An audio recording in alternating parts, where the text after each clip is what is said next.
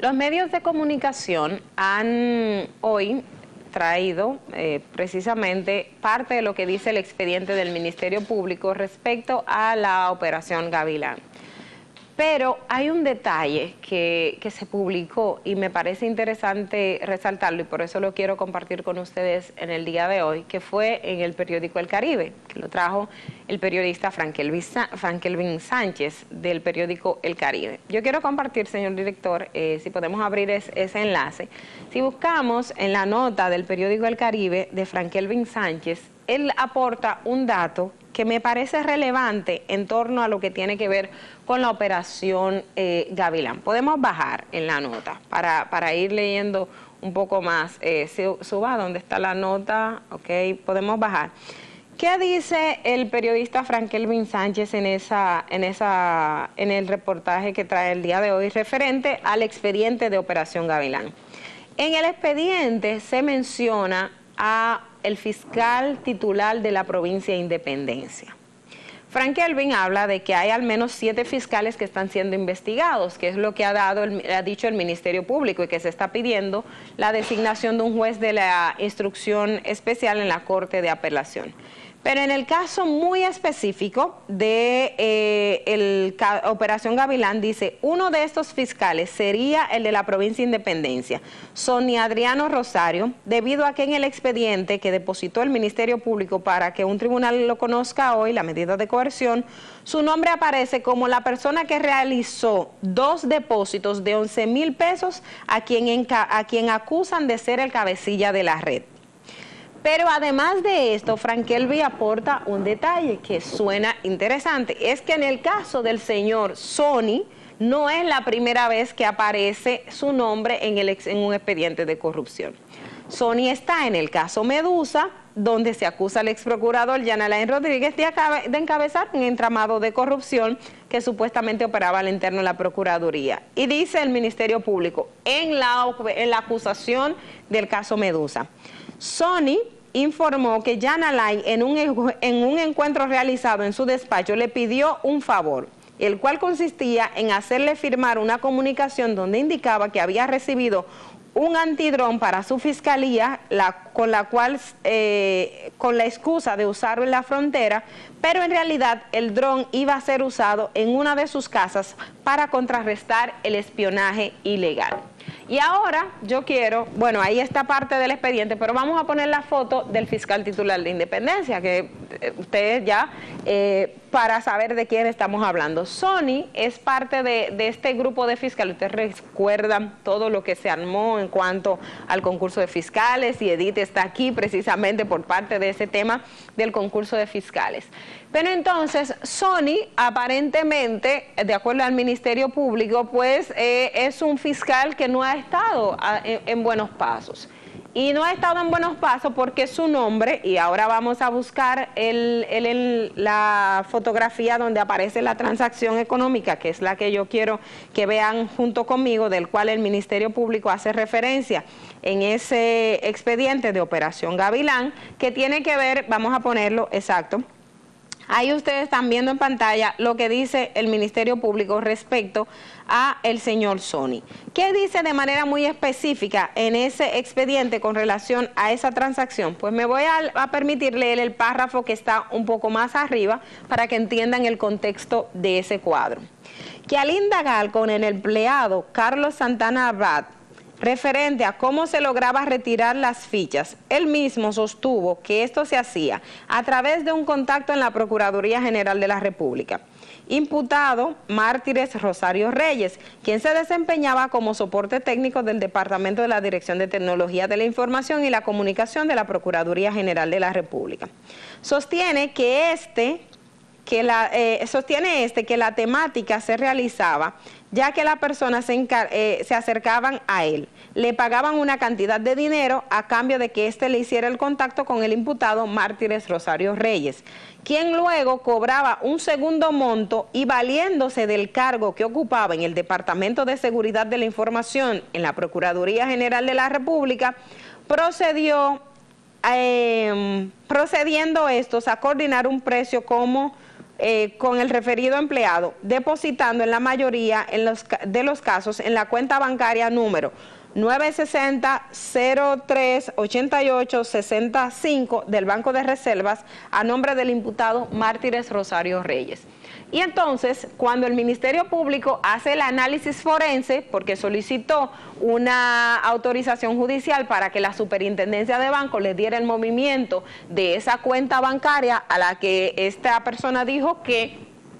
depositaba el dinero, encontró que no solamente estaba esa transferencia del señor Carlos Santana Abad, sino que habían otras transacciones. Y subamos un poquito el cuadro para que la gente pueda leerlo conmigo en la, en la foto que, tiene más adelante. Exacto. Ahora aquí, ¿qué dice ese cuadro? El cuadro, que tiene que ver con la cuenta bancaria del encargado de tecnología de la información del Ministerio Público, dice, empleado que transfiere de departamento del empleado que transfieres, transacciones realizadas y monto transferido. Dice en primer lugar, Luz del Alba Ramírez Rodríguez de Rivera, que es de la Fiscalía de la Romana, le hizo siete transferencias de 36 mil pesos a esa persona.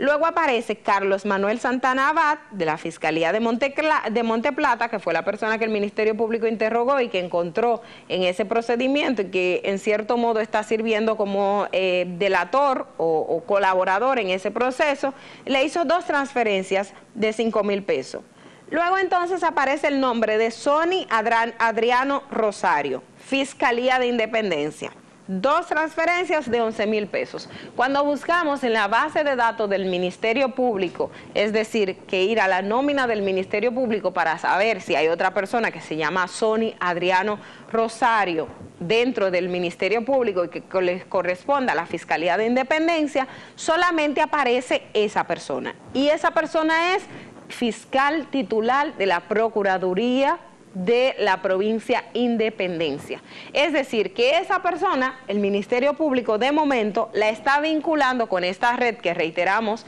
como decíamos al principio, que al menos seis fiscales titulares están siendo investigados por el Ministerio Público, o al menos seis fiscales, no voy a decir que sean fiscales titulares todos, pero que son fiscales y si se está solicitando la designación de un juez de la instrucción especial, indica que efectivamente estamos hablando de fiscales titulares. Entonces, seis, siete fiscales, corrijo ese dato, están siendo investigados y probablemente dentro de ellos, pues no me, no me cabría duda de que estaría el señor Sony Adriano Rosario porque aparece como una de las que les hizo dos transacciones económicas al encargado de tecnología que el Ministerio Público dice que esa cuenta era utilizada precisamente por él para esas transacciones económicas. Luego aparece el señor Francis Aníbal Cuevas, que es de la Fiscalía de Barahona, y ese le hizo 12 transferencias de 47 mil pesos a esa persona. Es decir, señores, estamos hablando de una red que operaba, operaba con vínculos desde las eh, titularidades, aparentemente, porque el Ministerio Público, vuelvo y reitero, ha dicho que ha solicitado la designación de un juez especial. Y esto tiene mucha relevancia, porque recuerden que cuando hablábamos del caso Medusa, que involucraba también a empleados del Ministerio Público y el señor Forteza, que tiene que ver con el Departamento de Tecnología del Ministerio Público, pues varios de esos fiscales que fueron designados mediante concurso en eh, por el ex procurador general de la República y esa, eh, eh, ese consejo superior que se encargó de, de, realizar ese concurso, pues varios de ellos figuran como testigos del Ministerio Público para eh, sustentar el expediente en contra del ex procurador general de la República. Y uno de esos que figura como testigos del Ministerio Público que demuestra que el, el dron o el bloqueador de señal que la Procuraduría General de la República había adquirido y que supuestamente se lo mandó a la provincia Independencia, eh, estaba siendo utilizada en una de las residencias del ex procurador general de la República y ese fiscal que hoy aparece como la persona que hizo dos transacciones a el encargado de tecnología que presuntamente era, de acuerdo al Ministerio Público, uno de los que se encargaban de borrar las fichas o adulterar las fichas dentro del sistema de la Procuraduría General de la República, está figurando ahí. Y Sony le firmó una carta que él mismo admitió al Ministerio Público, es decir, un soporte, que ustedes saben que el Estado utiliza mucho los soportes, es decir, ¿dónde está todo el equipo? ¿Dónde está tal cosa? Y él, y él firmó esa carta porque el procurador le pidió de favor que firme la carta que diga que recibió un dron, un bloqueador de señal para usarlo en la frontera, cuando en realidad no lo usó en la frontera. Entonces ya estamos viendo que ese fiscal está involucrado en al menos dos cosas o dos expedientes de corrupción que eh, deja mucho de qué decir. Entonces, habrá que esperar qué otras informaciones el Ministerio Público tiene y qué otras tiene esa misma solicitud de medida de coerción, porque de repente la estamos analizando muy rápido porque nos llegó eh, ayer en la tarde, que ustedes saben que después los periodistas nos ponemos a buscar expediente y que si encontramos aquí, encontramos allí, y uno les va sacando un poquito el jugo. Pero al menos hasta este momento, si hay un fiscal titular mencionado, es el fiscal de la provincia de Independencia, que de hecho hay otra empleada de la provincia de Que está arrestada y que eh, el Ministerio Público la ha sometido o la va a someter a la acción de la justicia, que ustedes los vieron, lo vieron en esta semana. Al menos ese fiscal titular, una empleada de esa fiscalía y otros más están siendo mencionados en el expediente Gavilán, lo cual nos deja mucho, mucho que pensar y que eh, de verdad que uno, no es que, no es que se asombra, pero al menos ver que desde el Ministerio Público se están llevando acciones que se está auto investigando que siempre hemos dicho y que cuando hablábamos de las redes de los jueces, que jueces que vinculado a las redes de criminalidad organizada, siempre decíamos también dentro del Ministerio Público existen muchas personas que no están cumpliendo con la ley y que también son parte de esas organizaciones criminales o son un brazo operador y que funcionan con total impunidad, pues ahora lo estamos viendo y ya tenemos dos expedientes, el caso Medusa y ahora Operación Gavilán, que hay que esperar lo que digan los tribunales. Pero de momento, vuelvo y reitero,